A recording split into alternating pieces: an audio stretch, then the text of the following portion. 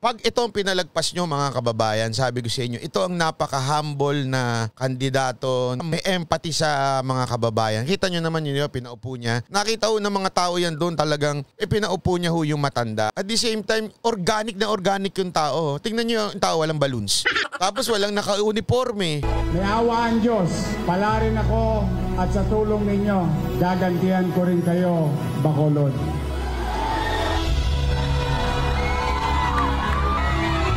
Hindi, alam mo nakakatuwa lang to. Kasi si Yorme, isipin nyo ito ha, hindi ko siya yung ano eh, kailangan madaming tao tas isang beses na rally. Oh! Tapos ititweet, Bacolod is pink. Gag. Style nila yan eh. Bacolod is pink. Cotabato is pink. Mindanao is pink. Sa Twitter, ano, yung parang kiniklaim nila na kanila yon Sinabi pa ni Bello na meron ding nakinabang sa pondo na hindi naman talaga nagtrabaho at maliwanag anya itong scam Oh. at maliwanag na nagkaroon ng irregularity. Naku po! Una nang nadawit ang mga pangalan ni na Congressman Alfred Vargas at kapatid na si Councilor Patrick Michael Vargas. Ako! Yung mga Vargas. Hindi ho ako nagsabi ah. Ito iniimbestigahan na ho. Ah, na meron daw hocus-pocus na nangyari. Oh, etong si Alfred Vargas at saka si PM Vargas na councilor na ngayon ay tumatakbong congressman. Diyan ho, ang kalaban nila si Roslyn. Oh, naku po. Kaya naman pala, kaya naman po pala, todo-todo yung banat doon kay Roslyn noong panahon ng Parmali. Eh di ba? Bakit to? Eh para itsura ngayon, nilagyan nila ng duda, putik itong si Roslyn para sila magmukhang malinis. Eh ang problema, eh si Sek Bello, mukhang nalaman niya na merong, naku hindi magandang nagaganap dyan at ah, damay nga daw ito, di umano ha, di umano. Itong si Alfred Vargas at yung si yung kanyang kapatid na si PM Vargas. Uy, magkapatid. Magkapatid na merong hocus-pocus daw, di umano. Sa tupad, kung sakali hong ito'y totoo ha, at ito'y napatunayang totoo, kung sakali ho ha, napaka walang niya. They will see if the margins are okay, if there are no smudging, if there are no discolorations, or if it is not miscut, or whatever defects. If it looks okay, the verifier will, will feed the ballot into the VCM. Sa nasa 49 million na naimprentang balota, 34 million dito ang handa ng ibiyahe sa iba't ibang probinsya simula April 20. Mahigit Ayan nun, na- na- sabi ko nga eh, nakakatuwa eh, di ba? Na, ngayon natin nakikita yung mga ganitong klaseng preparasyon na ginagawa ng COMELEC. Ang COMELEC, they're trying their best na ipakita sa taong bayan na ah, kung ano yung ipinangako ni Pangulong Duterte. Alam mo dito ako inis na inis eh. Kasi ito ang ating Pangulong Duterte. He's trying his best to inform the people that I'll make sure our election will be 100% clean. At the same time, ito ang COMELEC sumusunod sa mandato ng ating Pangulo. Preparation inaayos, di ba? Eh, pero bakit? Bakit may iilang tao na sinusubukang yurakan na kagad itong eleksyon na darating? Nakakainis ho.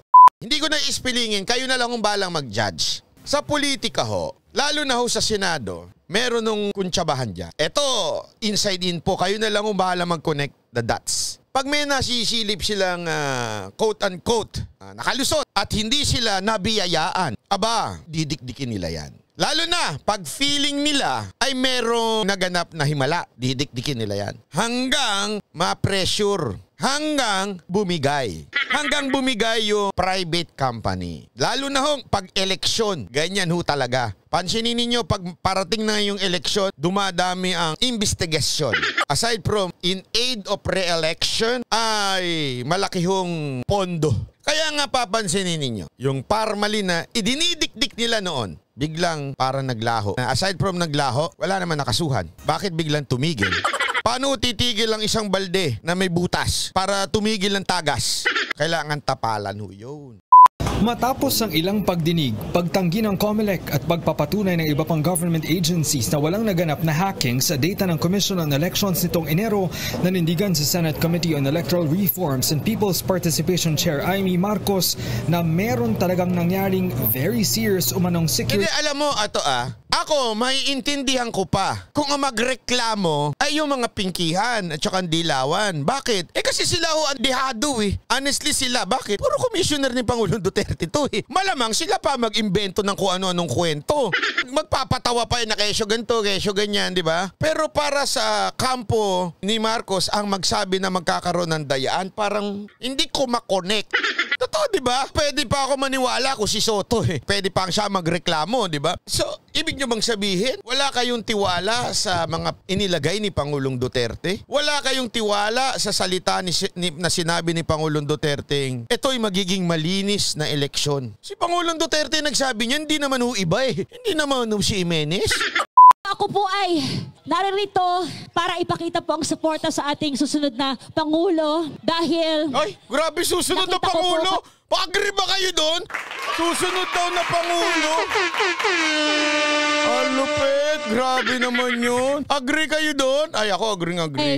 Mayor Isko Oh. ang batang Pangulong Duterte. Ay, grabe Na naman! talaga namang Sigurado ako, y- sigurado ako nagpapantig ang tenga ng mga ano, no?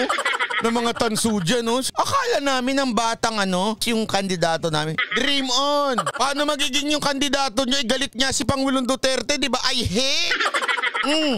Paano magiging ano? Sabi niya, oh my God, I hate. Mm. Paano magiging batang ano yun? Ito, si- ito talaga ang batang ah, Duterte. Oh. Nang tanungin si Moreno kung Oh. nababahala siya sa umano'y security breach sa Smartmatic. Wala pa akong idea. And, uh, and I do believe in the institution. And I hope with the new sets of officers uh, of COMELEC, uh, they will address it. O ito, alam mo nakakatuwa, ah. tinanong si Yorme kung ano masasabi mo dyan sa Comelec at chuchuchu na yan na may hacking-hacking daw na nagaganap. Sagot ni Yorme, I believe in the institution. Sabi ko nga eh, buti pa ito, hindi praning. Kaya ako sa tingin ko talaga, ito yung tapat talaga maging Pangulo eh. Hindi yung gumagawa ng kwento, hindi yung nagiging marites, hindi yung nag iimbento para lang sa... Basta sabi niya, eh, we trust the institution. Eh, sabi ko nga sa loob-loob ko, buti ka pa. Dito mo makikita talaga kung sino yung may, may paggalang kay Pangulong Duterte. Yung iba, puro kabaso na, de, de, dadayain yan, dadayain. Ano ito, si Pangulong Duterte na nga, commissioner niya nga lahat yan nandyan, dadayain pa rin. O par, wala pa akong... Uh, may Diyos naman. Oh, Sa pane- ang galing, di ba? Nakakatuwa.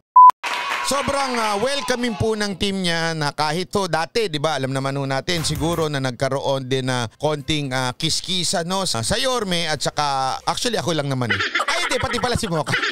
ba nagkaroon ng kiskisa ng konti kay Yorme. Ang nakakatuwa lang, may isa ako nabasa sa Twitter eh, sabi niya, kasi nagtataka yung mga dilawan, sabi nila, awkward daw na nagsama si Samira Gutok na dating pinupuna si Mocha, dating dilawan, tapos at si Mocha sa same stage. Tapos may nagsabi nga doon, instead na maging awkward kayo, hindi nyo ba nakikita na there is something with Yorme that he can unite different colors. He can unite people na kahit may mga ibang political affiliation. Nakakatuwa ho eh, di ba? Isipin nyo yun. It's only Yorme who can do that. Yun totoong unity na sinasabi ng kabilang partido na kay Yorme ho yun. Yan ho eh, kitang-kita nyo naman. At ito ah, sabi ko nga eh, kung si Yorme lang yung maging welcoming kay Mocha, okay. Pero nagulat ako, after ni Mocha mag-speech, ang sumunod na nag-speech ay si Samira Gutok. At alam nyo, si Samira Gutok, panay pa ang banggit kay Mocha. Kung ikaw, eh dati mong kaawa yun at kin, ah, binabanatan yun,